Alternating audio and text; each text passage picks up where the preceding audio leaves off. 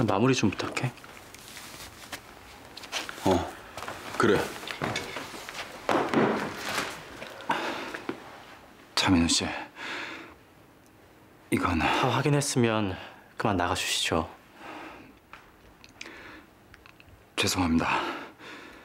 이건 저도 몰랐던 일입니다. 사과를 하러 오신 건가요? 변명을 하러 오신 건가요? 물론 전 둘 다 거절하겠습공니다만 부서진 무대는 철저하게 보상하겠습니다. 최대한 빨리 원상 복구할 수 있게 조치할 거고요. 어떻게든 첫 공연에 지장 가지 않게.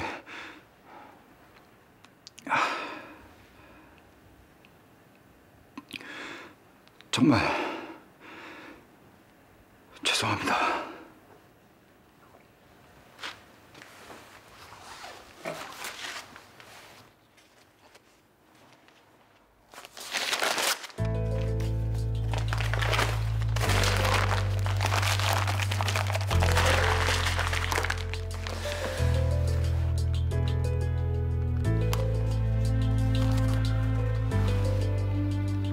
이게 내 마지막 대답입니다. 그만합시다.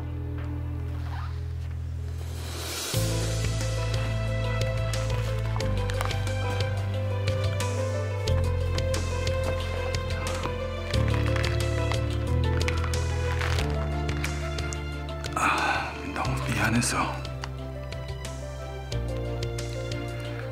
더는 설득도 못하겠네요.